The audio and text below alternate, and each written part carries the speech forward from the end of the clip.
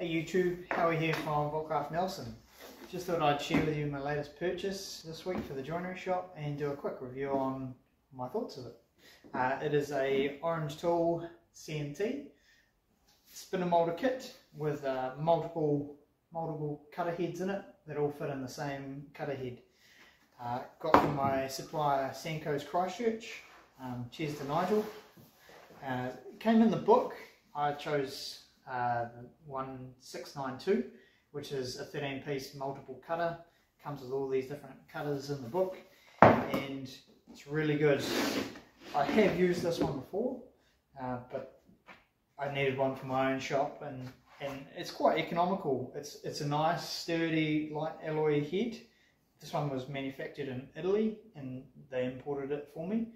Um, it's a 100 mil diameter cutter, 40 mil thick, and I've got a, a 31.75 mil bore on mine, but it all comes in a nice case, it's all rugged, everything's got a place where it goes. It's really easy to change the blades and it's accurate, which is probably the biggest thing I went for because it's it's not an expensive head, but it's not a cheap head either. So all it is is just the, the, the one, if you can see that, the one Allen key here, you undo that, and then all of your knives have got locating lugs so whenever you put any knife in either side of the cutter head they all go in an exact same alignment and you're never worried about which one's actually cutting more than the other and your profile being mixed up.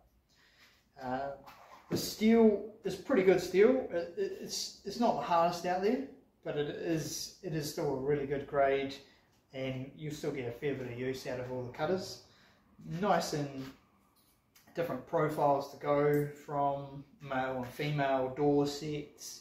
Um, I mainly I put this one on the 22.5, uh, 22 degree sorry bevel for doing my window bevels for some sashes, and in the in the catalogue here there's about eight different pages of different cutter heads you can choose, um, and they're all there's 40 mil version and then there's a 50 mil version higher and you can get a version with limiters. And they they're really economical. They're about 50 between 50 and 60 dollars plus gst per cutter head uh, per cutter knife sorry per pair.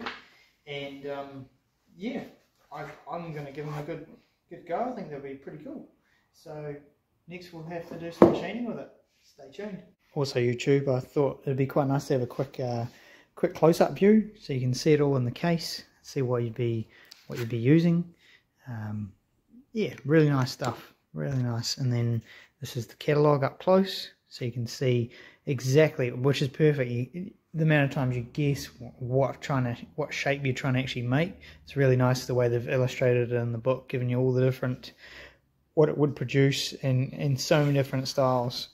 And I did also just remember that all these cutters they're now coming out with a in a, a, a normal harder grade steel, which I think they're around about hundred dollars plus GST. So if you're going for some real, you keep wearing out a knife because you used it a lot. Uh, they have a better one that's off the shelf in that profile.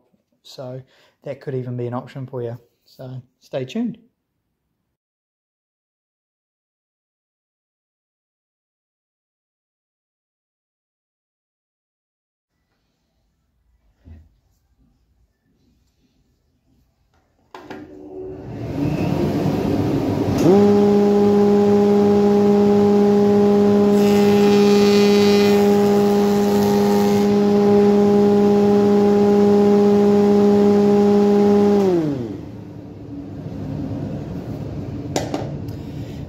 YouTube. Not a bad, pretty nice smooth cut uh, at our 22.5 degree bevel. Be good to have a play around with a few of the other cutters and whatnot, but she's going to be pretty good, especially once we put the power feed on.